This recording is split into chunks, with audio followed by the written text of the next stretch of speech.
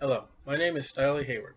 and I would like to welcome you to the Blessed Hope Ministry. We are a King James grounded family Bible study. These lessons are not to be a substitute for regular church attendance. Nightly, I direct my family through the Bible by chapter and verse. We request you to join us and to study from God and His Son, Jesus Christ. You may have permission to like, send, or encourage our studies with family or friends. Edification of what God has and what He desires in our life. Study to show thyself approved unto God, a workman that needs not to be ashamed, rightly dividing the word of truth. You may use our studies, but I request that you do not abuse them. For YouTube videos, subscribe below for more videos, and place the thumbs up, and leave a comment or email me. Thank you.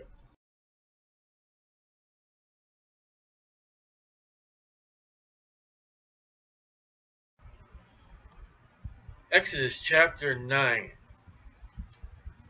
Then the Lord said unto Moses, Go in unto Pharaoh again, and tell him, Thus saith the Lord God of the Hebrews,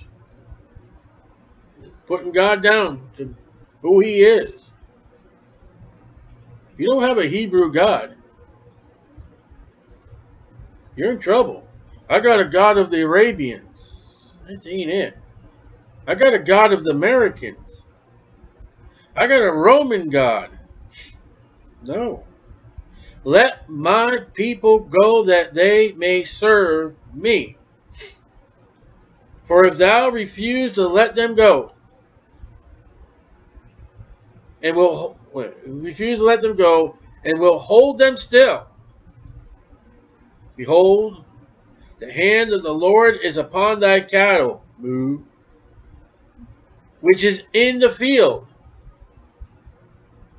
type of the world, upon the horses, upon the asses, upon the camels, upon the oxen, upon the sheep. There shall be a very grievous murrain, anthrax. Anthrax. This God is, I gotta be careful I say Apis. A-P-I-S. He is the sacred bull, reborn after death. Aaron, what kind of trouble did you get Israel into? He is probably the first god of all Egypt. The first god that Egypt ever had, they believe. He's the god of fertility and agriculture. You can't get away from sex, can you? Uh, for sex, fertility and agriculture. You ready for this one? Drum roll. He became king after his death. Now, to me, that's a bunch of bull. And my light just turned out. Ooh, that's hot. Forgive me. My light just burnt out. I ain't changed my light. Something going on with this thing here. You know. Ooh, I burned myself. Ooh, sorry, folks. Whew, that burned. Okay, where was I? Ow, that hurt. So, we've got an imitation Jesus Christ bull God where Jesus Christ is a lamb. And where, why are we going here? Now this God is a black cow, black black cow, bull.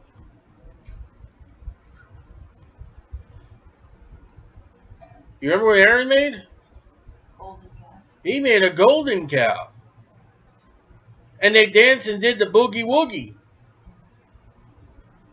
Where is that? Here it is.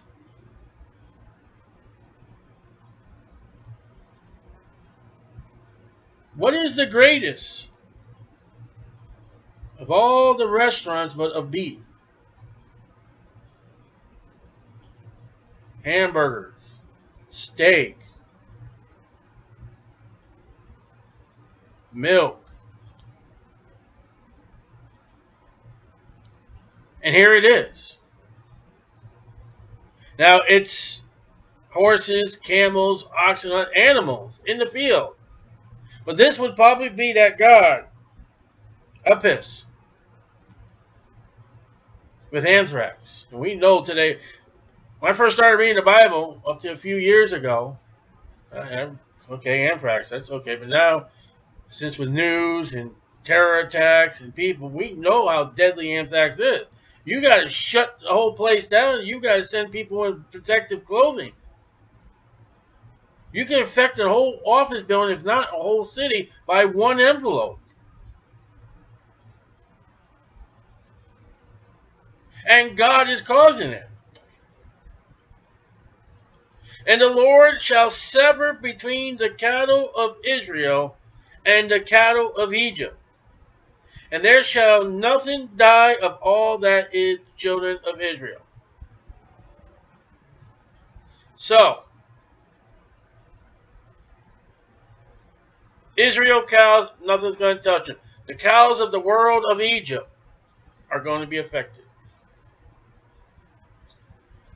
The miracle is you cannot hide your Egyptian cow with the Israel cow. God's going to know the difference. We have a separation of sheep and goats in chapter 9.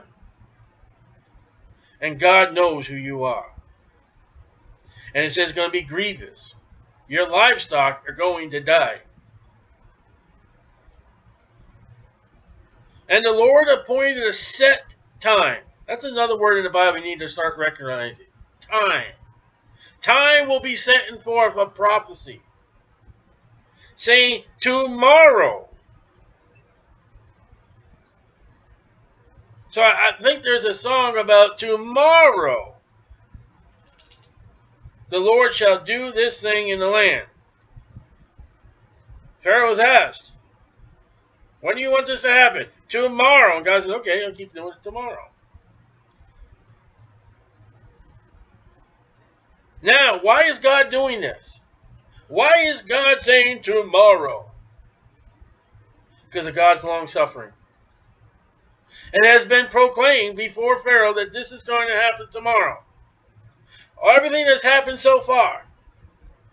Pharaoh before tomorrow can step up and say, Moses, Aaron, I want to get right with God. Don't, don't have it happen.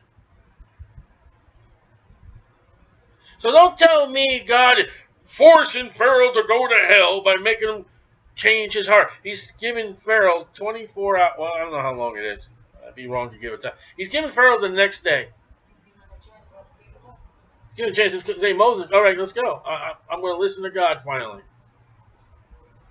Do you see God not giving Pharaoh a chance tomorrow?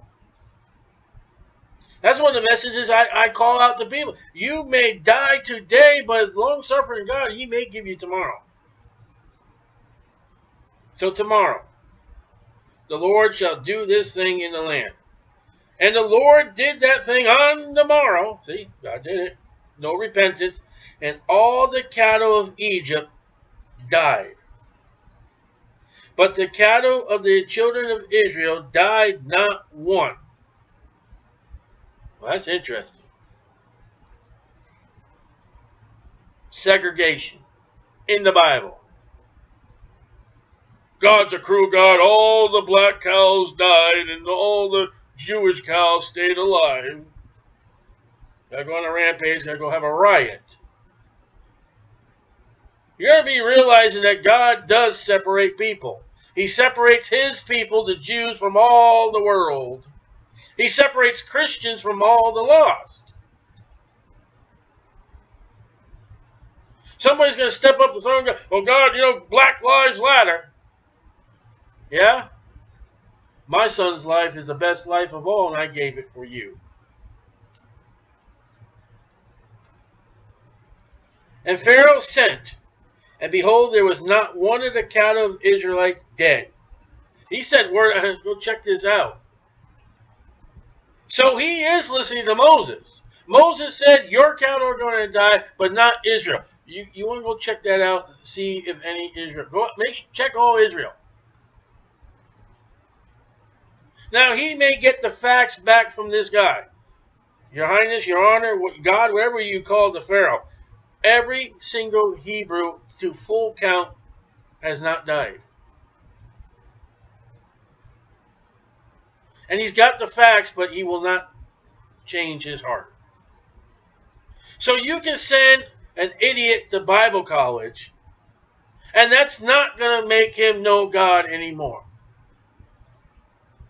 You can give somebody all the facts of the tribulation period. You can give them all the facts of the 66 books of the Bible. You can give them all the facts of the King James Bible. That's not going to get him closer to God. You got to get him to Jesus Christ. And Pharaoh and behold, there was not one of the cattle of Israel dead, and the heart of Pharaoh was hardened, and uh, by God? No, by Pharaoh. What is Pharaoh's problem right now? How dare you do that to me and my people?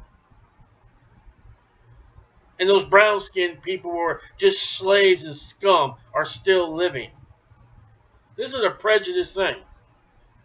Was hardened and he did not let the people go.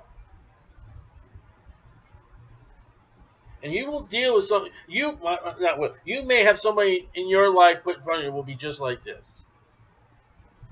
And God tells you to do something, give them a Bible, give them a, a, a Christian Christmas card, give them a tract. You know, he's got problems in his life. He comes, hey, listen, pray for my pray but he may not get right. You say, what is all the worst people you can find in the Bible? I would say Pharaoh here. This guy has had opportunity after opportunity, the long suffering of God, and he will show us people standing at the great white throne judgment. Imagine a lost man 2017, standing at the Great White Throne Judgment, coming from America, any of the 49 lower states. He has had opportunity to, to get employment. He has opportunity to get food if he can't get a job. He has had all kinds of opportunities given to him that is never found in a third world country. Now, when you see a child that has a bloated stomach in a third world country, that is because they have not eaten. When you see a, a person in America with a bloated stomach, he's had too much to eat. Isn't that interesting?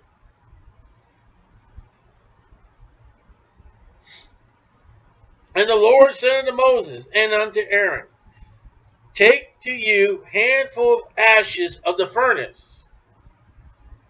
And it's funny because when we get to Jeremiah, there's a bunch of people say, Jeremiah, what do we do? Well, you know, you stay here, God, but, well, no, no, that's wrong. Baruch has conspired against you. We're going to drag you into Egypt, which God told you not to go. And God told Jeremiah, I forget what it was, but it has to do with the, built, the brick kilns of the furnaces. And here those furnaces again. In the world, you find the furnaces. And there's ever a point for furnaces in the history current of the Jewish people is what Adolf Hitler did throughout Europe with furnaces and the Jewish people. Daniel, the book of Daniel, and the furnaces of the three Hebrew boys or men. And yet hell is likened to a furnace. Hell is the furnace. Ashes of the furnace and let Moses sprinkle it toward the heaven in the sight of Pharaoh. Walks up to Pharaoh. And I believe there's some kind of things with magic dust they do in the air. Comes out of a Bible. Okay? And it shall become small dust in the land of Egypt, and shall be boils breaking forth with blain. Blain's a blister it's also a bladder growing on the roof or the tongue against the windpipe. When you look up blains. Upon man, upon beasts throughout all the land of Egypt. Now this is the first attack upon man himself. You say, well, you had lice. Well, lice crawl around. All right, you can pick a lice off. You can get there's something you can get in the stores where you, I guess you wash it and comb it and all that. You can do that with lice. You ain't gonna remove this boil. And if you want something interesting to do, go look at the way that the Egyptians, early Egyptians, took care of medical things. You will have urine, crocodile dung. It's interesting. Go look on the internet what and this is what the class that Moses would have grown. It says Moses was was educated in the Egyptian ways. We're going to see a little bit more. Blains upon man, upon beast. You know beast animals suffer because of Adam? You know how many animals were to die by the sacrifices of God in Jerusalem because of man and his trespasses? A lamb was to die in the morning, a lamb was to die at night.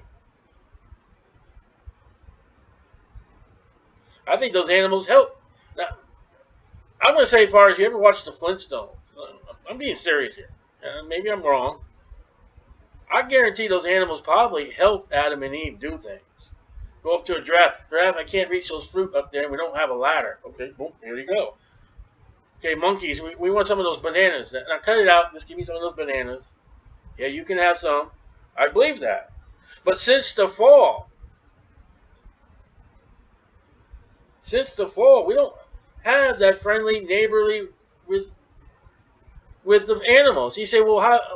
Why do you say that? Where did they get these ideas about animals in, in cartoons? Where did they get the idea of talking animals? Serpent talked. It was an animal. And Eve did not. Oh, but she, just started talking back to it. Like they're having a conversation, and I got to read that like Eve, you're talking to an animal. And yet, cartoons do that. I grew up with talking animals. So, upon the beast, and they took the ashes of the furnace, and stood before Pharaoh, and Moses sprinkled it toward the heaven. You figure Pharaoh by now, like, okay, knock it off, let's get right. You know? And Moses sprinkled it toward heaven. Shoot. And it became a boil breaking forth upon the blains of upon man. So according to the definition here, it was in the mouth too. Now I have had two boils in my life two different times.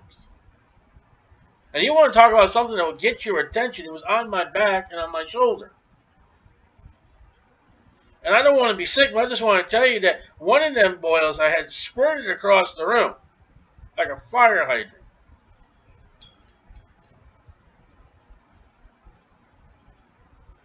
Sorry about this picture just being a little dark, but um,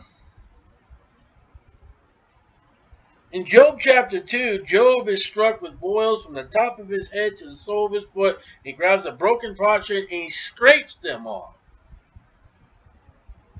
That means they broke. And it's actually, it's disgusting of what's in those things and what comes out of those things. So let me get into this one. Isis, Isis, IS, is is the God. Now that's the Greek God. ISIS. Aset, A-S-E-T, is the Egyptian God. Are you ready for this one? We just had the sacred bull that died that became a king. Aset is the queen of the throne, the queen of the gods. She's the goddess of medical and magic.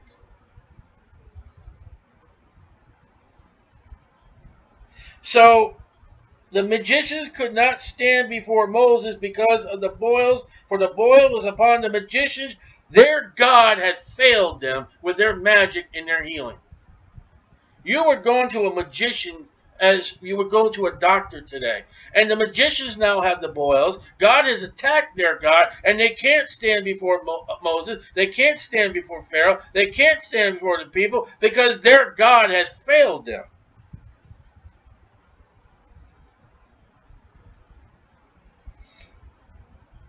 So there is an act here of unhealing by the magicians. You want to turn Pharaoh's heart away? How many times? Three or four times? Okay. Ready? Mr. Marvel Man? Here's a health problem. Solve it. Oh, we got this great big AIDS. We get oh, we got AIDS conquered now. Okay? What about cancer? got that solved yet, Mr. Magicians? Mr. Physicians? You got that solved yet? America is Pharaoh. We're not listening to God and Moses and Aaron saying, hey, will you get right? Will you do right? Will you put the Bible back in the classroom? Will you put that Bible back in the, in the courtroom? Will you execute those murderers? Oh, no, you're going to put them out? Okay, fine. We'll just let them kill more people. Meanwhile, you think I'm going to be in your health care? You're more interested in saving whales than you are a, a baby in the womb. You, you think I'm going to bless you? We're no different from Egypt, friends. So this God attacks the magicians who are the physicians. God is saying to these magicians and doctors, nah, nah, nah, nah, nah, you can't take it. We come a long way from boils because we keep, you know, look what we can do now. And the Lord hardened the heart of Pharaoh. Okay, Lord said, hey, listen, buddy, you're not going to get right. Don't get right. And he hearkened not unto them. Who? Moses, Aaron, and the magicians. Pharaoh should have looked at those magicians and say, oh, okay. You guys are phonies.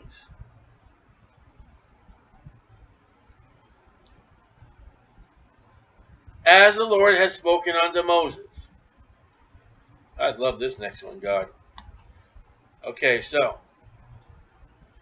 we now have, and the Lord said to Moses, Rise up early in the morning, and stand up, stand before Pharaoh. I almost said stand upon Pharaoh. Stand before Pharaoh. Yeah, it's interesting here.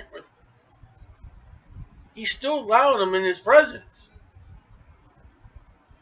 Even by now, listen, I mean, if you think the president of the United States, whoever was the president, you think the president of the United States would shut the bars of these men say, you ain't coming to the White House no more. I would alert my Secret Service if you see those people. And he has. There are certain people who cannot go before the president because of what they believe and what they do. I cannot take a King James Bible and walk up to the front door of Pennsylvania Avenue to meet the president and his wife and talk to them about Jesus. And yet Pharaoh's still letting these two go. But he won't listen. Friend, just because they open the door and let you in and they hear you out does not mean they're going to get saved. So don't pull out, say this prayer before you leave. They just might be lonely. They just might like to have company. Before Pharaoh and say unto him, Thus saith the Lord God of the Hebrews, Let my people go, that they may serve me. It's a repeat. It's a repeat. For I will at this time, and all my plagues upon thy heart, on thy heart, on thy heart. That's the problem. On thy heart. For with the heart man believes unto righteousness. He's not believing and upon thy servants. So they're not wanting to get right. The entire Capitol Hill of Pharaoh does not want to get right with God. And upon thy people, the Egyptians, for thou mayest know that there is none like me in all the earth. Now, when God says, You shall know,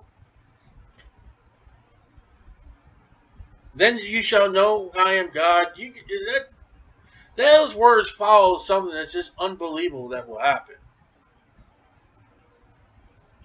And when we get to the end of Pharaoh's life, and you shall know, Pharaoh shall know that I am the Lord, you know what that means? Pharaoh has been cast into hell forever, and at that point, Pharaoh will know, oh, now I know God, your God.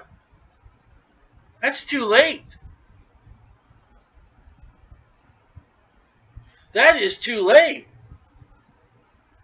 You know, I thank God I had a grandma that was almost like, I'm not, what's the story we're leaving here? Come with me to church. No, never. Uh-uh. You just come. Come on. It's a brand new church. It's not like what you. No, I don't want to do it. I don't want to hear about it. No, blah blah blah. If I, you know, I just say one day, okay, fine. Just to shut you up, I'll go. And I got the time, and I went, and I went, and I heard the word of God, and that within that week, I've asked Jesus Christ to save my soul. I know God, and I know Jesus Christ by belief. I'm going to heaven. This guy's going to know God by entering into hell, and he's never going to come out. And there are people we preach to that we know, we know their faces, we may know their name, and we know the only way they're going to believe our message is when they're burning in hell, and that hurts our feelings. But they're so foolish. And can you imagine Moses and Aaron walking away? Why won't this guy get right?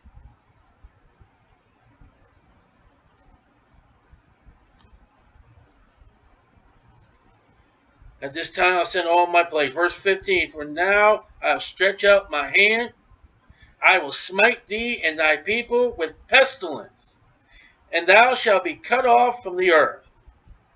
And in very deed for this cause have I raised thee up foreknowledge of God to show in thee my God said, listen, I knew how you're going to act. I know what you're going to do. Uh, this is the time that I will set to use you for my power.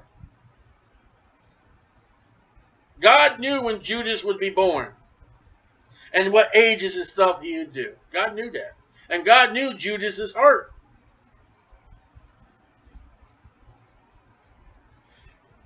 To show thee in thee my power, and that my name may be declared throughout all the earth. Psalms 8.1 As yet exaltest thou thyself against my people, well, pride there, that thou wilt not let them go. You, you know, you're God. You're somebody important. Behold, tomorrow, long suffering, about this time, I will cause it to rain a very grievous hail. And as has not been in Egypt since the foundation thereof, even unto now, you're going to get a storm that you've never, ever, no one's ever recorded, ever such like in Egypt. This is going to be for the record books. Unto now. Okay, 19 and 20 are very interesting. Send therefore now and gather thy cattle. Now there's a thing here because God said in verses 9, 1 through 7, that all the cattle were to be killed. Now he's saying, gather thy cattle. And there's there's a lot of answers out there. He could have taken or paid for the Egyptian cows. He could have ordered other cows. And all that thou hast in the field, in the world. For upon every man and beast which shall be found in the field, and shall not be brought home. The hail shall come down upon them, and they shall die. God, you're mean. You leave it outside, it's going to die. Leave it outside, to die. That's it. That's all I'm going to say. And period. No. Let's read on. Let's read the whole Bible. Judge not, least you be judged. Let's finish it. He that feareth the word of the Lord among the servants of Pharaoh made his servants and his cattle flee into their houses. There are people in Pharaoh's palace, whatever they call that building. Did you hear what Moses and Aaron said? Yeah. Go home. You got a holiday. What Pharaoh gonna say? Go home. hey, whatever they, Joe. Hey, my employer just told me to go home because Moses and Aaron said that, that, you know anybody who's outside on this date they're going to get killed. Uh, you want to pass this around or you want to go home?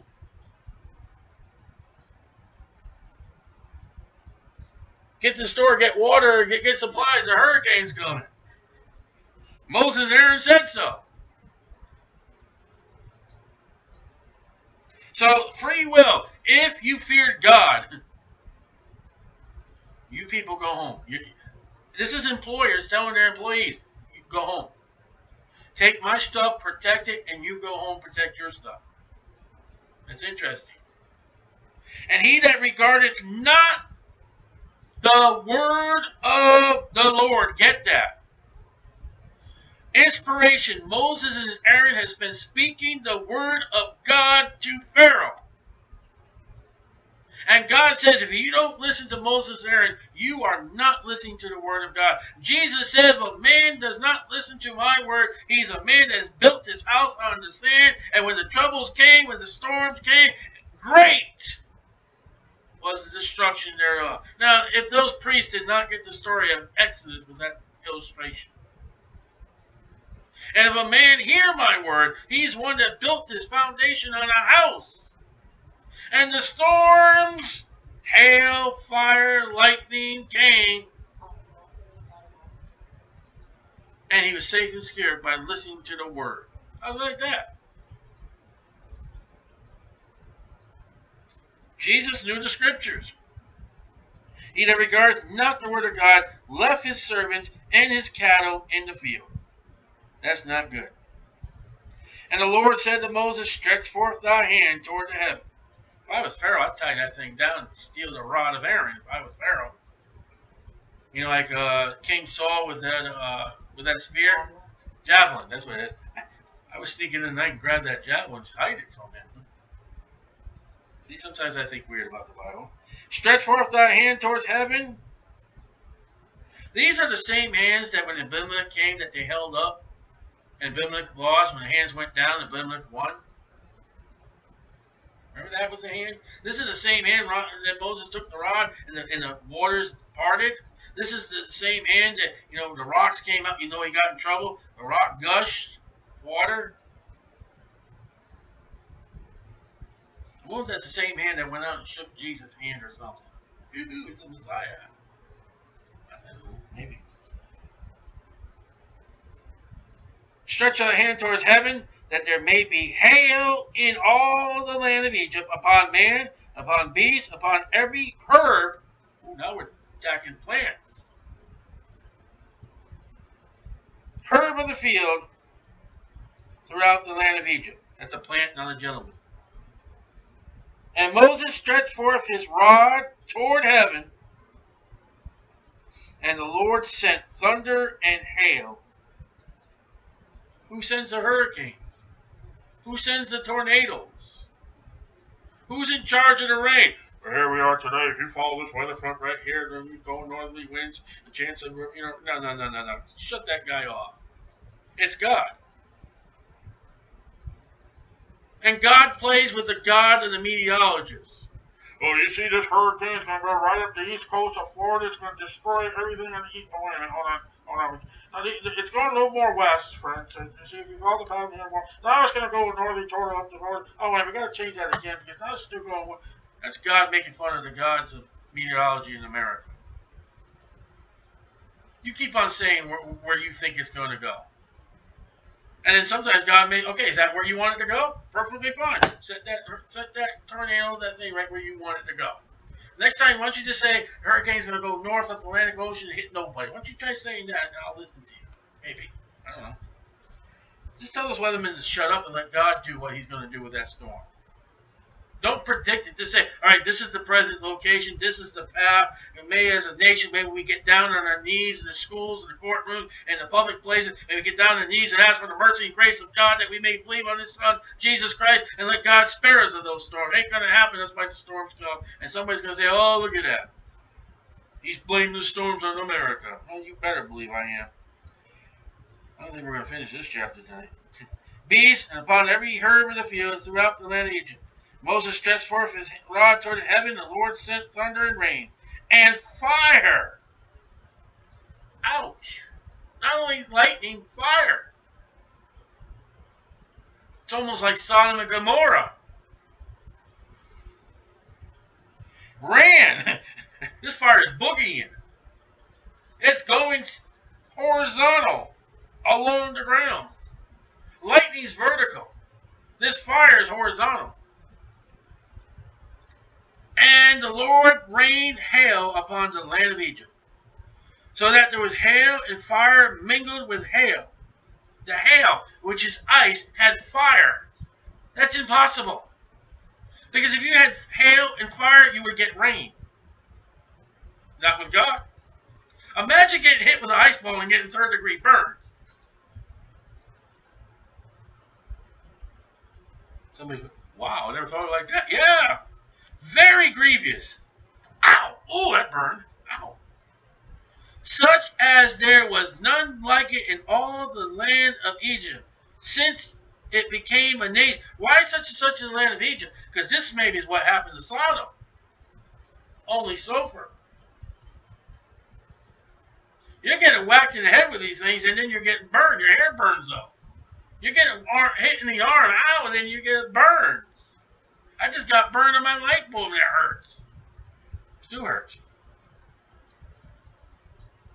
And the hail smote throughout all the land of Egypt, all that was in the field, the world, both man and beast.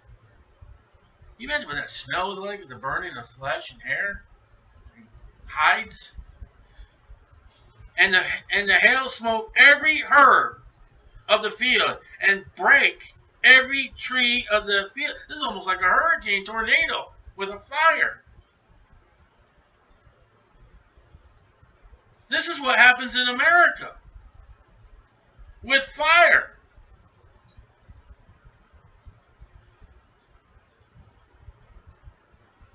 Every herb of the field, plants, trees are being destroyed and break every tree of the field. Only in the land of Goshen where the children of Israel were, were no hail. There's a proper division of God and his people and the world. The, the Israelites are sitting over there watching. Wow, check that out. And we are not in the eye of the storm. We are in the eye of God, the apple of God's eye, protected. How's that? Would you get down and rejoice and thank God that's not coming to your house? Go over there and pet your cow, like, oh God, thank you for petting my. Hey, did you thank God for getting out of that hurricane Florida? Did you thank God that you're still alive and what you still have? I'm still thanking God. Israel, when they get in that wilderness, when they get in that journey, they're not. Remember, Israel's living all this. This stuff is now not happening to them. It's happening to their enemies. Remember, they're seeing this, and when they're griping, complaining in the wilderness. So people, I've had people tell, well, if I just saw God, if Jesus just came to me. No, brother, you haven't read Exodus. You have not read Numbers. And if they did see God, like they done, they heard the voice of God, Exodus 20. And they still defiled him. They still rejected him. Moses, I mean Moses, Adam and Eve in a perfect state saw and walked and talked with God. And look what happened. And Pharaoh sent, and here he goes again, and called for Moses and Aaron. Oh, okay, now, wait a minute. He doesn't really want to report. He wants Moses and Aaron. And said unto them, I have sinned this time. This time? This time? Come on, you gotta be kidding. You have not ever sinned before but this time. Oh, I didn't tell you the name of the God of the sky, did I? For the storm. Are you ready? I'll spell it to you. Here we go. Ready? N U T. Nut. This, this is a, the sky god. Nut. He's depicted as a, drum roll please, a cow. Moo. What kind of trouble did Aaron get himself into? Was that golden cow? The sacred bull? The sky god? Oh God, please don't let it rain on our church picnic this Saturday. Please, Lord God.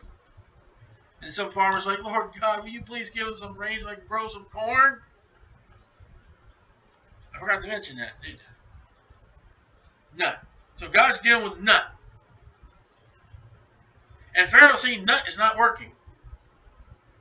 Pharaoh's a nut for believing nut. So now he turns to God and says, I've sinned this time. I've sinned this time. You've been sinning all wrong, brother. It's been written down. You and your conduct and what you are doing is written down in the words that Jesus said, My words will never. What we read about you, Pharaoh, will be in heaven forever. Isn't that interesting? I have sinned this time. No, that's someone who's not going to get saved at that point. They've got to acknowledge all their sin. The Lord is righteous. Know, see, oh, see, he said he was a sinner, and he's claiming the Lord is righteous. Uh, yeah, he just sinned just this time. That's it. No other time. He's not going to put all the sins under the blood. There are times that, Lord, you know what? I don't even know what sins I've had I need to confess because there's too many. I heard one preacher one time, you don't say that. I want to be clean. The day that I got saved, I said, Lord, I am a sinner. I have done so much, and it came into my heart, it came into my mind, and sins I don't even know I did, which I know I did, which I can't think of them right now. And what are you going to do when you get old age and you forget things you're doing? Lord God, I have sinned. I don't even remember sinning. And there are some sins I've done I don't want to remember, and it's not coming to my conscience. I need to plead the blood of Jesus Christ. Yeah, I know I sinned just now. But Lord, what about yesterday? What about last week? There's some still some sins on record from last week. You better confess them sins, even if you don't know what they are. There are sins that we do that we don't even know we did yet. Go ask Ahab. When his wife went to go kill somebody. He had no idea what was going on until he was told. You got to ask God. You got to say, God, when you're alone, by yourself, say, God, is there anything right now that is soiling our relationship between you and me? And you better believe God will answer right away. I know what he says to me. Patience. Like, Lord, God, not that one. Stop that one. You stop that one. It's not just now. He says, I have sinned this time. The Lord is righteous. Okay. He's confessing with his mouth, Romans 10, but he's not believing with his heart. You need both. And I and my people are wicked. It sounds okay. It sounds right. Entreat the Lord. For it is enough. Ooh, I've had it. This is it. This is true. He fears the weather and not God. Does that sound familiar? How many people today, when we went to the farmer's market and preached, how many people say, you know what? God is mighty. You won't believe what God just did in Florida. Man, we want to get right. now. No. They cheered when we left. That's pity. Entreat the Lord, for it is enough that there be no more mighty thunders in hail. See what he's afraid of? He's not afraid of God. He's afraid of thunder and lightning. There are a lot of people afraid of thunder and lightning. And they don't care what God has to say. And I will let you go, and will and ye shall stay no longer. That sounds good. And Moses said unto him, As soon as I am going out of the city, I will spread abroad my hands unto the Lord, and the thunder shall cease. Neither shall there be any more hail. Now see, he's getting happy now. Wow. And thou mayest know that the earth is the Lord's. Psalm 24 1. But as for thee and thy servants, I know that ye will not yet fear the Lord God. I can see his servant say, Judge not, lest ye be judged. That's not what God would say. Moses and Aaron now know, you know what, brother, you're lying to us. Judge not according to appearance, but judge rightness judgment. Moses has dealt with this guy long enough that, you know what, I know you're lying to me. But because you asked, didn't Jesus say, if your enemies ask, give them? There you go. So Moses went out of the city. Wait a minute, hold on. But as I know that they will not fear the Lord God. Verse 31. And the flax and the barley were smitten. It's interesting, barley in the Bible. Mark that one. For the barley was in the ear, and the flax was boiled, which is a seed pod. Boiled. Boiled, boiled, boiled. So they were up as a plant. But the wheat and the rye were not smitten, for they were not grown up. They're probably still in the ground. Isaiah 28, 23 on that. Isaiah 28, 23. And Moses went out of the city from Pharaoh, spread abroad his hands unto the Lord, and the thunders and the hail ceased, and the rain was not poured upon the earth. So Moses is walking in a storm. Now, did it not say the children of Israel did not get no rain and all that happening? Can you just picture Moses and Aaron walking up to Moses? I mean, walking up to Pharaoh, and there's nothing around them? They got this channel or something of clear weather speaking before Pharaoh. The opposite of the commercial, the cartoon with the cloud yeah. over, somebody said. Yeah, you got you know it's the opposite. If that, I don't know if, if Moses and Aaron had that thing, but they're the children of Israel. That would be a sign to Moses. Can you see the children of Israel looking over there like, I see a clearing over there. It's getting closer. Oh, it's Moses and Aaron. Okay. You know? I don't know. I like to think weird things like that when I'm reading in my Bible. I don't think it's wrong, but I'm not sure. So, and when Pharaoh saw that the rain and the hail and the thunder were ceased, see, that's what feared him. That's what he was afraid of, not God.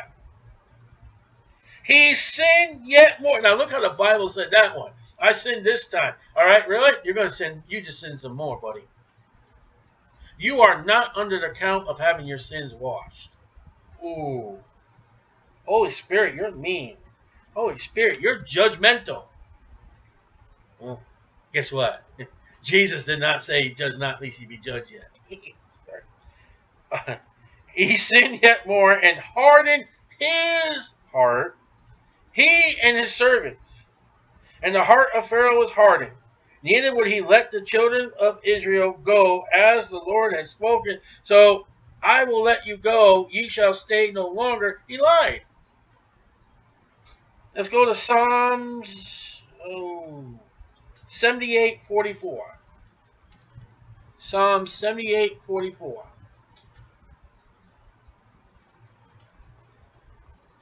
Psalms has a great history of what we're reading about. Psalm 78, 44. Hold my finger. I know you guys don't want to hear it. Oh.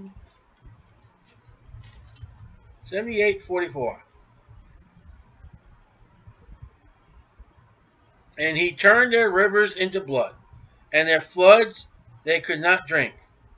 He sent divers sorts of flies among them, which devoured them? The flies? That's something we didn't read the other night. And frogs, which destroyed them. He gave also their increase unto the caterpillar and their labor to the locust. He destroyed their vines with hail and their sycamore trees with frost. Not just hail, he gave them a frost. If you've been up north, if that early frost comes too early, your crops, your garden's dead. He gave up their cattle also to hail, and their flocks to hot thunderbolt. He's out there with the lightning, with that fire. There goes that sheep. He's cooked. There goes that cow. He's beef. And that's what Pharaoh's, he's looking out his window, they're gone. Watch that tree, it's burnt up.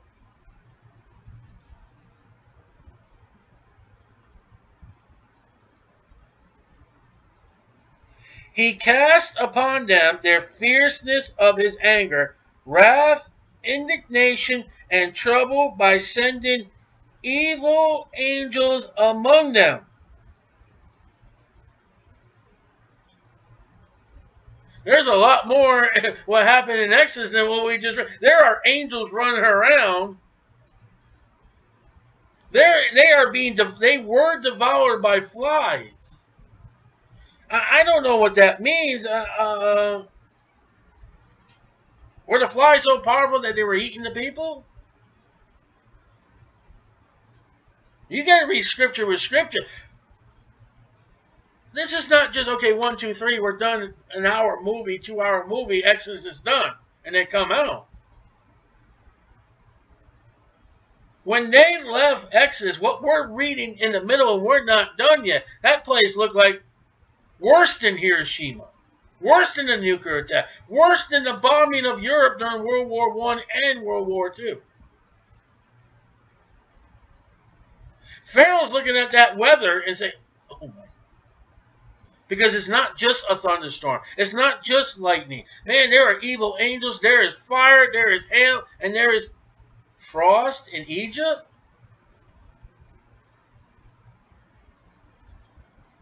That's interesting. And with all that, Pharaoh goes into hell, and then finally he knows God is God. Isn't that sorry? I know somebody right now, they're, they're, they're living, praying for him. I have seen God do things in his life to get him to get right. And if he goes off to hell, at that point, he's going to know God is God forever, eternity. What did that, that rich man in hell, how did he know that God was God? By being in hell. And he never asked to come out. Well, I'll tell you one thing he asked for while he had a chance. Before Revelation 20 ever happened, he had said, Will you go tell my family not to come here?